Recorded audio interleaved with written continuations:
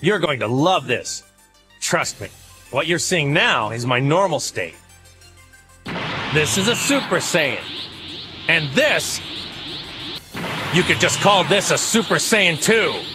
And this is to go even further beyond!